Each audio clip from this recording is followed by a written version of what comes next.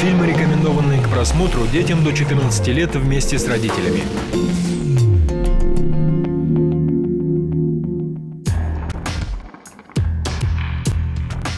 Любителям покурить кальян посвящается. Попал э, в нашу клинику по скорой помощи, то есть в очень тяжелом состоянии. Рестораторы против антитабачников. Чем закончится многолетнее противостояние? Рестораны могут потерять до 30% своей выручки. Это деньги, деньги, деньги. Как выбрать табак и где курить кальян запрещено? Кальян очень хорошо подходит. Там напитки различные, чаи, но никак не алкоголь. Мы нашли ответ на вопрос, есть ли в кальянах смертельно опасные бактерии. Наше специальное расследование.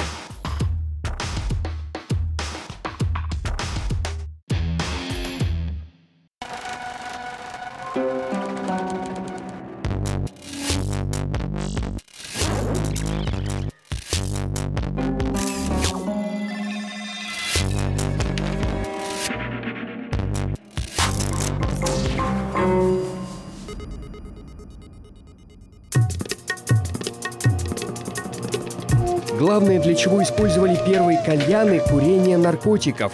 Прибор придумали древние индусы, изготавливали его из дерева и кокосового ореха, но курили в то время не ароматизированный табак, а гашиш. Кокос делили пополам, значит, и в эти ячейки ложили гашиш, и вот э, из бамбука делали палочку, и таким образом, значит, выкуривали гашиш в себя. Постепенно был модернизирован, и в арабском мире он уже появился в виде значит, такой вот колбы и трубки. Это уже турки впоследствии его модернизировали до того вида, как мы видим сейчас. Устройство совершенствуется и дорабатывается и в наши дни. Теперь оно выглядит вот так. Колба для жидкости, чаще всего стеклянная, шахта, где дым смешивается с парами, чаша для табака и шланг, через который человек вдыхает кальянный дым. Раньше люди курили э, кальяны, использовали кальяны из обычных металлов. И понятное дело, что когда они соприкасаются с водой, э, они со временем ржавеют. Аксессуары и трубки были ненадлежащего качества, они были выполнены либо из бумаги, либо из обычной какой-либо резины. Сейчас, конечно, все это производство как бы вышло на новый уровень. Силиконовые трубки, по заверению производителя, они выполнены из медицинского силикона. То есть они хорошо моются, хорошо смываются. А сами мундштуки, они выполнены также из нержавеющей стали или чистого боросиликатного стекла. Азиз Нурмухамедов – энтузиаст казахстанской кальянной индустрии. Он основатель собственного лейбла, владелец магазина и дегустационного зала в Алматы. Азиз даже пытался наладить выпуск кальянной продукции отечественного производства, но не выдержал конкуренции с изготовителями из Германии и России. Как ни странно, лучшие кальяны производят не на Востоке, а в Западной Европе. Стоимость такого аппарата около 80 тысяч тенге из цельного бруска выточенная шахта стальная говорит о том, что э, в момент курения, когда дым проходит через шахту, у вас нигде на стыках он не оседает.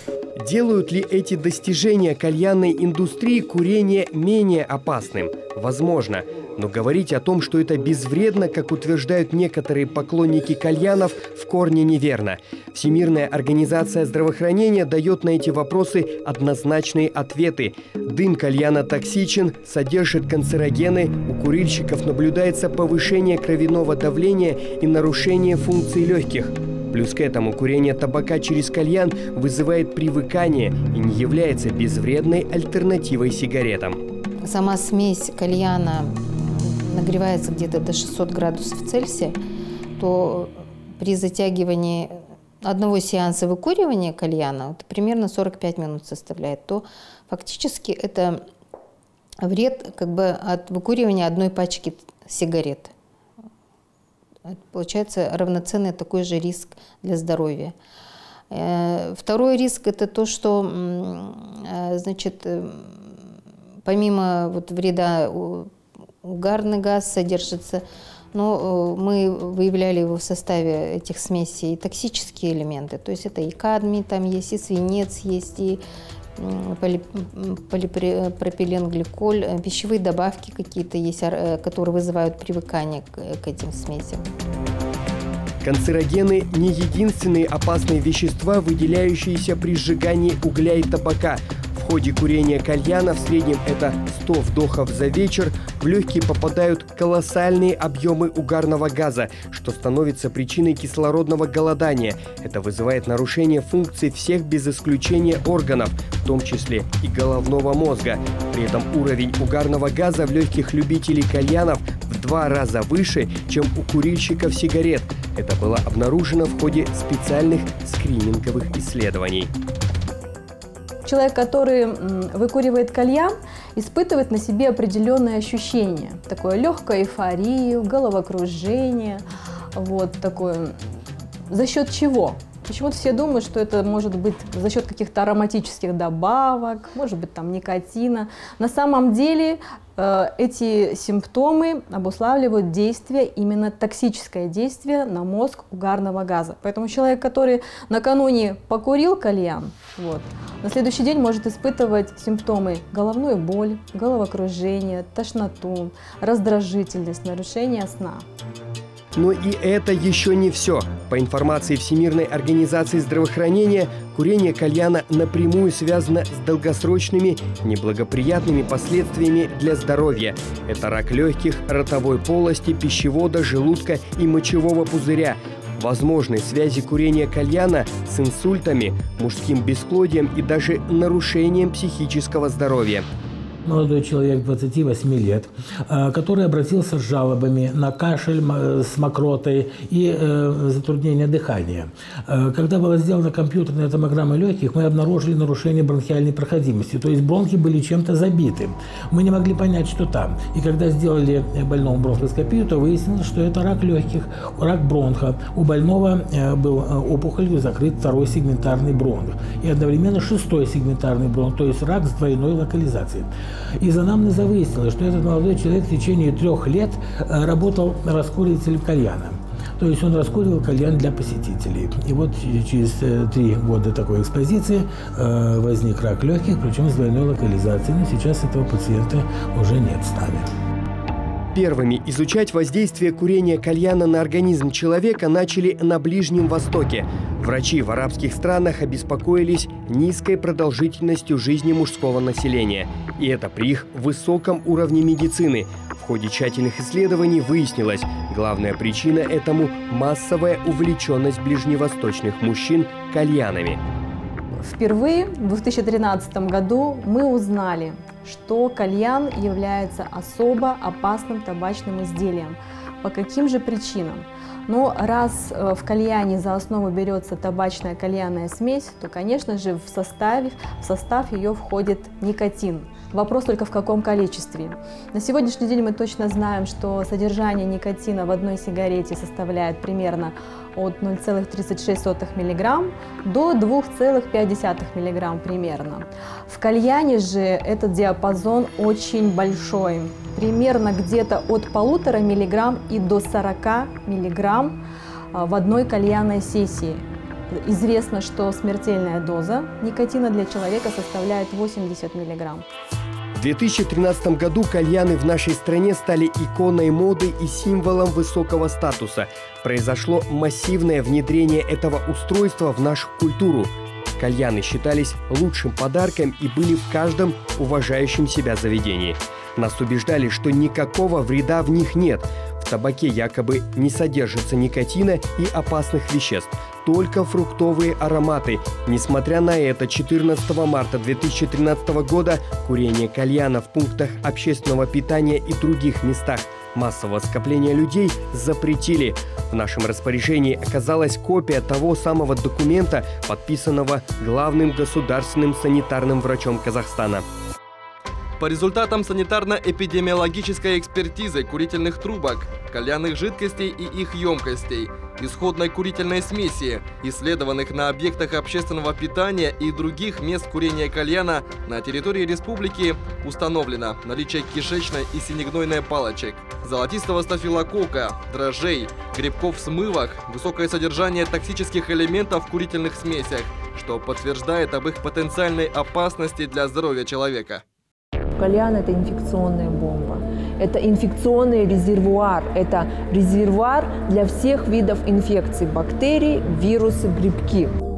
Обнаруженные микроорганизмы очень агрессивны, представляют серьезную опасность для человека и могут вызывать пневмонию и тяжелые бронхиты. Антитабачники называют это новым видом эпидемии. Они делали смывы и соскобы с э, непосредственно со стеклянной колбы и сливы. Сливали жидкость, которая там есть. Когда они через некоторое время посеяли, они просто даже не ожидали, что там вырастет. Там был ковер, там был ковер, начиная от синегнойной палочки с ярко выраженным сине-бирюзовым цветом, заканчивая, значит, золотистым стафилококком желтого цвета и кишечной палочкой весь спектр кишечных бактерий красного цвета. В поисках вредоносных бактерий мы провели собственный эксперимент. В интернете нашли объявление о сдаче в аренду кальяна. Договорились с поставщиком, назначили встречу и сделали контрольную закупку. Это теневой бизнес, который находится вне поля зрения санитарных врачей. Кальяны и табак неизвестного происхождения берем на свой страх и риск. Угли все. Дача, я вам говорю, полторы, да?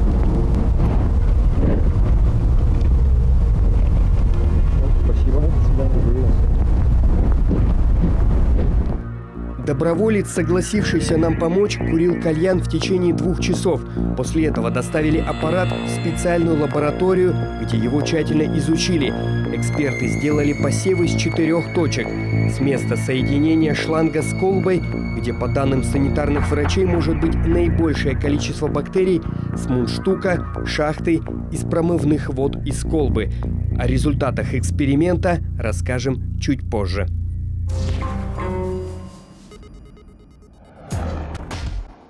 Конечно же, возникает вполне себе резонный вопрос.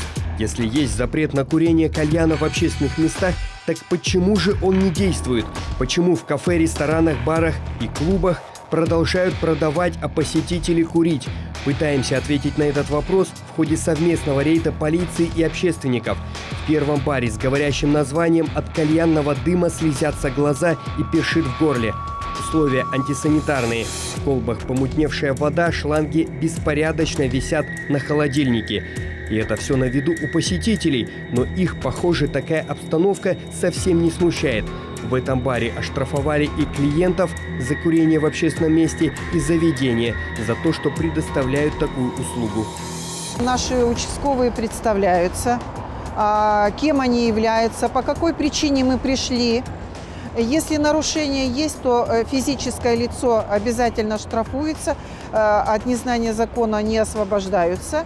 Э, то есть штрафуется физическое лицо и обязательно с администратора берется объяснительное. По какой причине она берется? А, по причине той, что на следующий день значит, ресторатор вызывается в ВВД города вот, или района по месту дислокации своего заведения. И там уже составляется протокол административный именно на заведение. Агрессивных администраторов встретили в следующем заведении. Сначала они не хотели пускать полицейских, затем устроили скандал. Я вам еще разрешение не давал. Вы почему проходите, я не могу понять? Потому что вы сейчас уберете все, про все ваши права. Мы выявляем, мы не ждем. Вы подождите пять минут. Мы не можем ждать пять минут. У вас должен быть приказ. Я вам еще Почему раз объясняю. А не препятствуйте действию Я сотрудников буду полиции. писать. Это караоке у общественников и стражей порядка в черном списке. До этого нарушения здесь находили уже дважды. И вот опять посетители курят кальян. Если у вас в запрете кальяны, зачем вы их предоставляете, предлагаете своим гостям? Да, вот вы дайте интервью, вот вас снимают. у нас разрешены. Ну а У почему нас, нам не тогда- разрешены, у нас не разрешены сигареты. Ну, на мы здесь и не курили сигареты. Почему должна Курят они у нас все гости знают, что можно курить только Нет, на хорошо, лоджии. насчет кальяна что у вас происходит? Нет, вот только что вот нам Манара, сказали, что Манара, насчет кальяна. Да, я правильно говорю? Да, правильно вы говорите. В чем Сейчас проблема? Вопрос не решили, на посетителей составили административный протокол. Руководителей заведения на следующий день пригласили в полицию. Такие рейды регулярно проходят в разных городах Казахстана. Но есть ли от них результат, сказать сложно. Петропавловске в тот же день проверяли увеселительные заведения с бойцами СОБРа. Там тоже курят кальяны, никого не стесняясь. Сотрудники местной полицейской службы после составления административных протоколов устройства для курения табака изъяли. Еженедельно у нас по городу Петропавловска проходят рейдовые мероприятия по питейным заведениям. Мы там выявляем, где кальяны курят. Неоднократно на них уже протокол составляли и неоднократно их предупреждают. Так как вот в данный момент как, ну, при проверке они все равно кальяны э, использовали. Ну, на них было составлено на кальянщика административный протокол по 441 части 3 и на клиентов тоже было составлено административный протокол по 441 части 1 курения там кальяна. Рестораторы говорят, что терпят от таких запретов колоссальные убытки и просят снять ограничения на курение в общественных местах. И в то же время считают, что постановление главного государственного санитарного врача не имеет законодательной силы. Объясняют это тем, что анализ 12 заведений Астаны, где и были найдены палочки и стафилококки, недостаточно объективен. Предлагают проверить больше ресторанов и в других городах Казахстана. Если данный э, вид деятельности будет регулируемым, будет лицензируемым, я думаю, это будет правильно и удобно для ресторанов. Поскольку в случае тотального запрета кальянов э, рестораны могут э, потерять э, до 30% своей выручки. Естественно, э, в данном секторе, кроме этого, работает порядка 20 тысяч человек. Они, опять же, останутся без работы. Омархан Оксикбаев – один из главных оппонентов рестораторов в Мажилисе. Он давно выступает за полный законодательный запрет на курение кальянов в пунктах общественного питания. Поэтому новость о просьбе рестораторов снять ограничения воспринял с нескрываемым раздражением. Удивляет, э, насколько у нас могут быть бизнесмены безграмотными и антинародными. Э, вы знаете, это по-настоящему, э, по-настоящему антинародный их призыв. Эти, они выступают против своих же граждан, э, против тех же своих клиентов. Здравомыслящие рестораторы, они, наверное, прежде всего должны думать о повышении своего сервисного обслуживания, о качестве своих э, оказываемых услуг – о качестве подаваемых блюд. Об этом они должны говорить. Вот прежде всего, пусть они дадут э, такое меню, которым народ туда валил бы и не выходил бы с его э, ресторана. Вот первое, что ни на есть развитие, путь развития их ресторанного бизнеса. А не то, что сейчас им открой кальян, открой э, курево. По информации депутата, 13% казахстанских детей до 14 лет хотя бы однажды курили кальян. Естественно, делали они это не у себя дома. Получается, рестораторы закрывают глаза на возраст юных любителей подымить. Ну или предпринимателям, сдающим кальяны в аренду, все равно, лишь бы деньги платили. Я боюсь, что в этих табаках есть и наркотики, которые привязывают человека к этому. А, я его не изучал, не могу сказать, и у меня нет доказательств тому. Но я подозреваю, потому что на Востоке всегда туда добавляли, вы знаете, гашиш. Мы, если этот законопроект примем, естественно, за ним последуют и меры. Э, сперва мы предусмотрим э, административные меры. Если кто-то нарушил, естественно, будем штрафовать. Э, и наверняка и это мы будем уже в законе о административном правонарушении, э, админкодексе это закладывать. Ну и последующим, если, наверное, надо, э, если э, грубые нарушения, э, почему бы не ввести определенную уголовную ответственность. Арестан Байменов в кальянном бизнесе работает несколько лет. Он, как и большинство таких предпринимателей, в ресторане не числится, а лишь арендует у них небольшой угол, где кальян забивают и раскуривают считает себя добросовестным бизнесменом, говорит, что несовершеннолетним дымить не разрешают, а сами устройства тщательно обрабатывают, поэтому опасных микроорганизмов там нет. Запрет я однозначно отношусь отрицательно, так как э, по моему опыту не было случаев э, с плохим исходом, то чтобы человеку стало плохо именно от кальяна, э, то что повредило как-то серьезно его здоровье. По кальяну могу сказать, есть определенные места, где именно нацелены на кальяны, то есть это кальяны. Есть и рестораны, где стоят кальяны.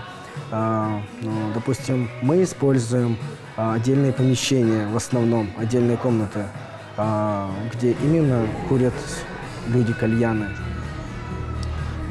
Ну, в самом заведении даже прописано, то есть, э, что есть в самом заведении, кальяны.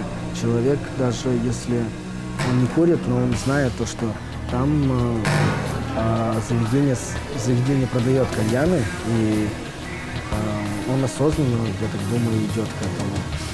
Немытый после предыдущего клиента кальян – это то же самое, если бы вам в ресторане принесли еду в грязной тарелке. Только в отличие от столовой посуды, проверить, действительно ли кальян тщательно помыли, сложнее. Поэтому остается лишь надеяться на добросовестность и чистоплотность кальянщика. В противном случае есть риск, что именно в вашем шланге или мундштуке окажется синегнойная палочка и золотистый стафилококк. Конечно же, я не советую, если вы уже заказали кальян, курить его там 5-10 человек, чтобы курили этот кальян. Кальян – это персональная вещь, я считаю, то есть ну, максимум для двух человек. Вот. И по поводу различных вот э, несанитарных там, норм, да, это как раз-таки говорит о том, что люди чаще всего заказывают один кальян на десятерых человек. По поводу трубок, то а, здесь я считаю, что в заведениях а, для гостя должно предоставляться два выбора. То есть либо силиконовый шланг, потому как там есть некие определенные нюансы, либо одноразовый шланг, который он может купить, тут же покурить, тут же его выкинуть. Вот. Но силиконовые шланги, они также моются. Ну и если вы все-таки никотинозависимый человек, регулярно курите кальян и не собираетесь отказываться от этой привычки, то делайте это только в проверенных специализированных заведениях, где следят за чистотой и предлагают хороший табак. Иначе плачевных последствий для вашего здоровья не избежать. Мы не рекламируем, не пропагандируем, естественно, курение. А, вот. Но э, если человек уже курит, то совет покупай более что-то качественное, более э, ну, лучше, лучше, чем там, не знаю, на барахолке, на каком другом рынке непонятного качества. На сегодняшний день у нас а, в, в веселительных заведениях, в ресторанах а, предоставляется весь комплекс услуг. Да? То есть вы можете прийти покушать и полноценную еду, там мясо, стейк, да, тут же вы можете выпить алкоголь и тут же покурить кальян. А, культура кальянного, кальяна курения, так скажем, да, она не предполагает, в принципе, еду а, первоначально. То есть, э, по сути, когда человек курит, и кушать-то, в принципе, не сильно-то хочется, да? То есть, э, культура кальяна курения, она говорит о том, что человек приходит именно в кальянную, а, проводит здесь э, минут 40 час, в принципе, и идет дальше по своим делам. Вернемся к нашему эксперименту. Арендованный по объявлению в интернете кальян мы отвезли в специальную лабораторию в Алматы. Там эксперты сделали посевы с четырех точек. С места соединения шланга с колбой, с мундштука, шахты из промывных вод из колбы – ни в одном из образцов опасных микроорганизмов обнаружено не было. Такие результаты еще раз подтверждают необходимость масштабных исследований казахстанских кальянных. Заодно не мешало бы проверить наличие санитарных книжек, да и здоровье самих кальянщиков. Это в основном студенты, ребята, которые подрабатывают вечернее время. У них, естественно, никакой санитарной книжки нет. Это теневой бизнес. А в теневом бизнесе свои правила – в теневом бизнесе тебе дают налом деньги, и, пожалуйста, иди работай легкими. Раскуривай для другого человека кальян. Они работают своими легкими, они расплачиваются своими легкими. Я знаю нескольких кальянчиков, молодых ребят, которые сейчас вообще напрочь не курят кальян, потому что они так надышались, и многие из них имели проблемы. Чтобы развеять в молодежной среде миф о том, что кальян не опасен для здоровья и приносит одно лишь удовольствие, в Алматы действует передвижная антитабачная выставка, где школьники и студенты могут, не стесняясь, задать все интересующие их вопросы и увидеть, во что могут превратиться легкие курильщика. Если вы никогда не пробовали курить табак через кальян, лучше и не начинать. Для тех, кто не может отказаться от этой привычки, нужно всерьез задуматься о своем здоровье. Пора завязывать, ну или хотя бы курить пореже и поменьше.